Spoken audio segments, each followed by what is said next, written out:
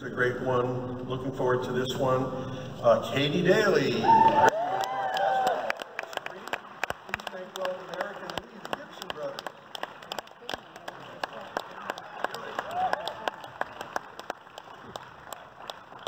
Pat Malone heard bluegrass on the radio long before she ever saw it performed live.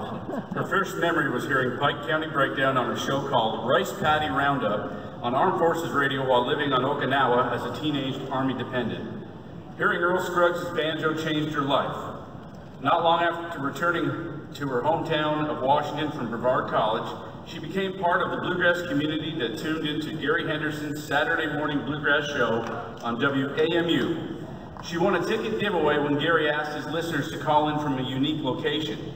Pat called in from her job at the CIA and won. Weeks later, Gary and Pat met at a party and he invited her to do a Who's Playing Where segment on his show. Because of her day job, Pat wasn't comfortable using her name on the air.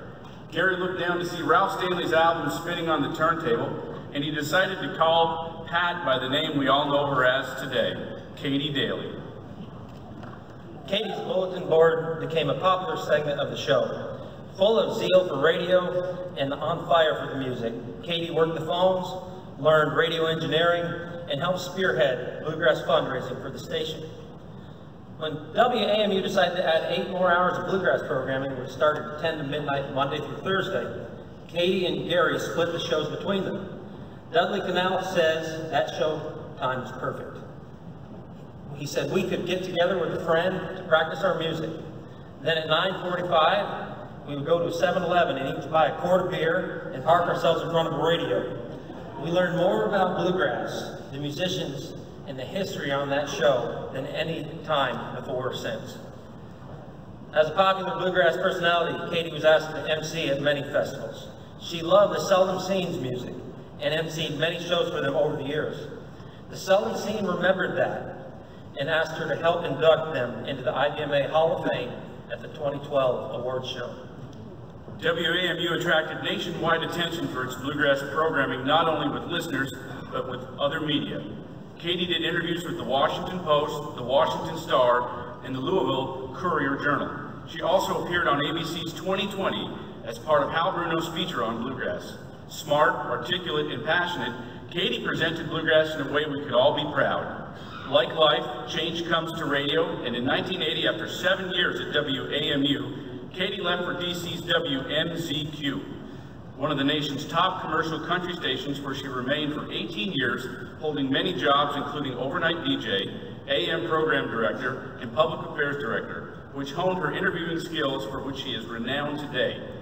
Katy worked many high-profile events during her WMZQ tenure, including serving as MC at Memorial Day services at Arlington National Cemetery, introducing Ricky Skaggs and the Air Force Band at Constitution Hall, and as the ring announcer at RFK Stadium in 1986 at the NWA Great American Bash between Ric Flair and Dusty Rhodes. Luckily for us, after 18 years, Katy came back to bluegrass when she joined WAMU's Bluegrass Country. Her love for bluegrass was still apparent during each weekday morning drive show. It was during that time that she won IBMA's Broadcaster of the Year Award in 2009 and 2011. In 2012, when Doc Watson passed away, it was Katy who was called upon by the PBS NewsHour to discuss Doc's legacy on behalf of the bluegrass community. In 2017, Katy became the first non-musician to be presented with the DCBU's Washington Monument Award yeah. for, for her lifelong commitment to bluegrass music, for her many years of service as a radio host, and for documenting Washington, D.C.'s bluegrass history through her interviews. Katy retired from bluegrass country in 2017, but she continued doing bluegrass interviews, thanks to Bluegrass Today. Katy's also written liner notes for Epilogue, a tribute to John Duffy for Rebel Records' re-release of The Seldom Scene recorded live at the cellar door as well. One thing she would like you to know, she was not the screaming woman at the cellar door. she wasn't even there that night. Earlier this year, wanting to add her voice to interviews, Katy launched the podcast, Bluegrass Stories. Years ago, years ago, Katy visited a fortune teller who charged her $5 for a reading. He read her cards and he told her two things.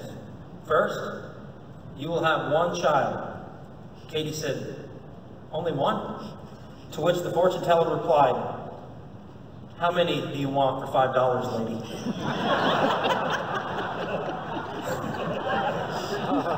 she and her husband, Bill, had Chris in 1981, their only child. Second, he said, you were involved in music. I don't know exactly what it is. It's not rock, it's not exactly country, but someday you will be known for your voice. Was he ever right? Katy's voice has been recognized by people in checkout lines, by customer service people on the phone, and by so many of us in the bluegrass community.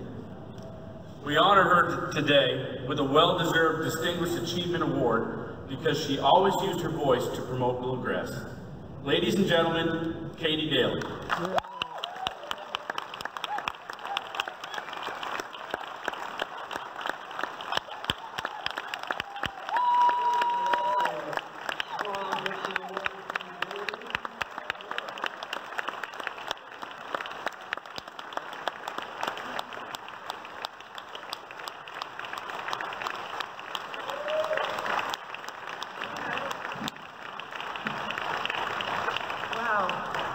My dad used to sing me to sleep at night, and now that I'm older, I realize it was an odd choice of songs. It was either the Wreck of the Old 97 or the Prisoner song.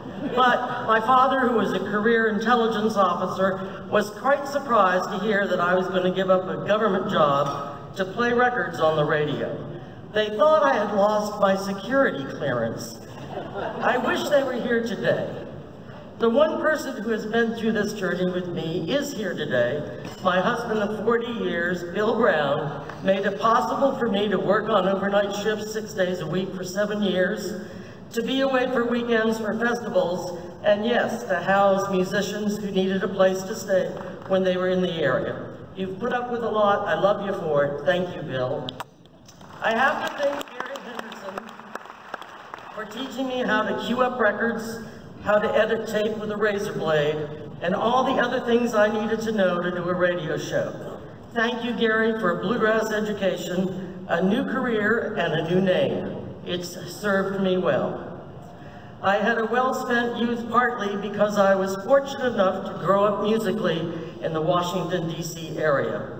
Thank you to everyone in the D.C. bluegrass community. You were so welcoming, and I have formed lifelong friendships with many of you.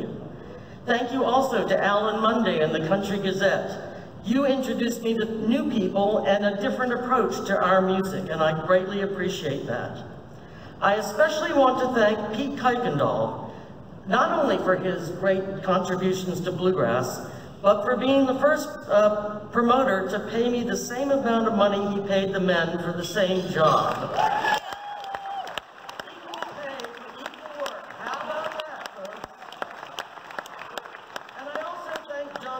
for sharing his philosophy with me.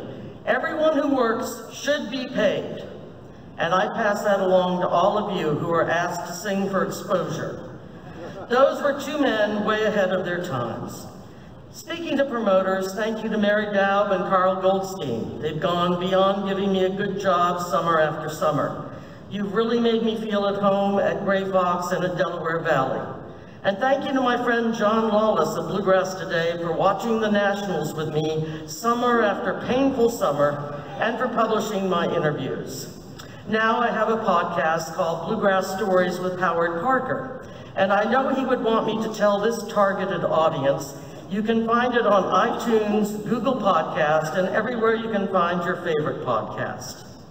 I also want to thank Eric and Leigh, the Gibson brothers. Thank you for your music, Thank you for sharing your family with me, and thank you for the friendship. It means the world to me. I've had the best seat in the house for music and interviews for 40 years. I know just how lucky I've been. Thank you to IBMA and to all of you for this great honor. All I ever wanted to do is tell people just how good you are. Thank you.